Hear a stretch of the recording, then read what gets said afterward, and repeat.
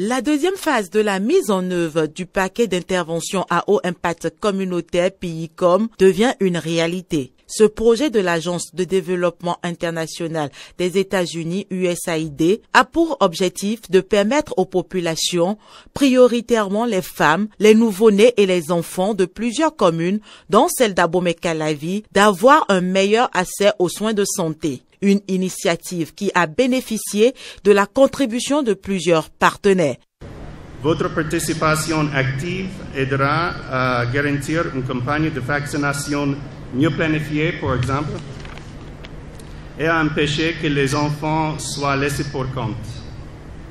C'est sous votre rôle directeur d'une planification sanitaire vise à fournir aux familles des moustiquaires Sephora, contribuant ainsi à la réduction du paludisme qui est la cause première de mortalité chez les enfants.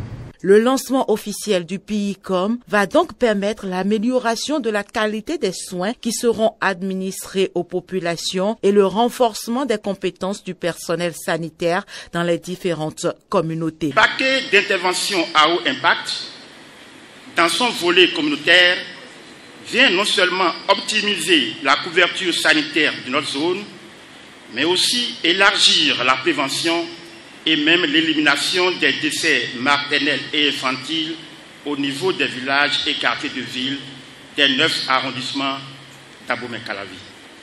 Je voudrais également, à la suite du deuxième adjoint au maire d'Abomey-Calavi, vous assurer de l'engagement des maires, qui, engagement qui permettra de garantir à cette intervention son caractère inclusif. Faisons tous pour qu'il y ait une troisième phase et pas une quatrième phase. Le paquet d'intervention à haut impact communautaire sera exécuté par les ONG béninoises dans toutes les communes retenues que sont Savalou, Bonté, Cotonou, Commun, Grand Popo, Hueyogbe, Alada, Zé, Tofo, Bopa et ceci pour une durée de trois ans.